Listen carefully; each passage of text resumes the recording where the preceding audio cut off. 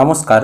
মুখ্যমন্ত্রী মমতা বন্দ্যোপাধ্যায় তথা তৃণমূল দল নতুন দুটি প্রকল্পর কথা ঘোষণা করতে চলেছেন। একটা হলো দুয়ারে রেশন এবং আরেকটা হলো আজীবন ফ্রি রেশন।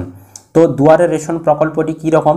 না, এই প্রকল্পে কিন্তু আপনারা বাড়িতে বসেই চাল, গম অন্যান্য যে সকল রেশন সামগ্রী, সেগুলো কিন্তু আপনারা পেয়ে যাবেন।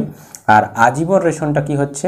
না, আপনারা কিন্তু ফ্রিতে একদম কোনো টাকায় খরচ করতে হবে না। এখন যেমন আপনাদেরকে কোনো টাকায় খরচ করতে হয় না, সেই কোনো টাকা খরচ না করেই আপনারা কিন্তু আজীবন ফ্রিতে রেশন পেতে পারবেন। তো কি বলা হয়েছে এই দুটি প্রকল্পে? বা কারা কারা এটি সুবিধা পাবেন বা কবে থেকে আপনারা এটি সুবিধা পাবেন বিস্তারিত আলোচনা করব আজকের এই প্রতিবেদনে। অবশ্যই প্রতিবেদনটি ইউনিক এবং ইনফরমেটিভ হবে। অবশ্যই প্রথম থেকে শেষ পর্যন্ত ভিডিওটি দেখবেন। আর আপনি যদি আমাদের চ্যানেলে নতুন দর্শক হয়ে থাকেন, পরবর্তী লেটেস্ট আপডেট সবার আগে পেতে অবশ্যই চ্যানেলটিকে সাবস্ক্রাইব করে রাখবেন এবং পাশে আসা বেল আইকনটি ক্লিক করে অল অপশানটি অন করতে ভুলবেন এই সংক্রান্ত প্রতিবেদনে বলা হয়েছে, রেশন দুর্নীতির অভিযোগ যথেষ্ট বিড়ম্বনায় পড়তে হয়েছে তৃণমূল সরকারকে। এবার সেই রেশনকে হাতিয়ার করেই ইশতেহারে বড় চমক দিতে চলেছে তৃণমূল কংগ্রেস। সূত্রের খবর, এবার ক্ষমতায় এলে দুয়ারে রেশন প্রকল্প শুরু করার প্রতিশ্রুতি দিতে চলেছে রাজ্যের শাসক দল।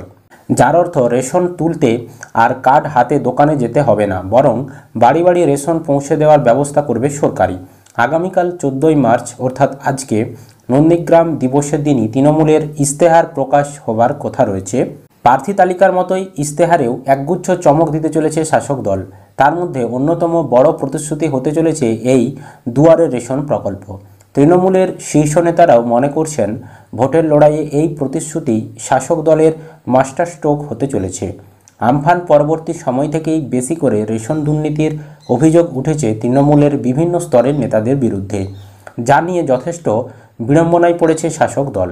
ইতিমধ্যেই মুখ্যমন্ত্রী মমতা বন্দ্যোপাধ্যায় ঘোষণা করেছেন, তৃতীয়বার ক্ষমতায় এলে আজীবন বিনামূল্যে রেশন পরিষেবা দেবে তার সরকার।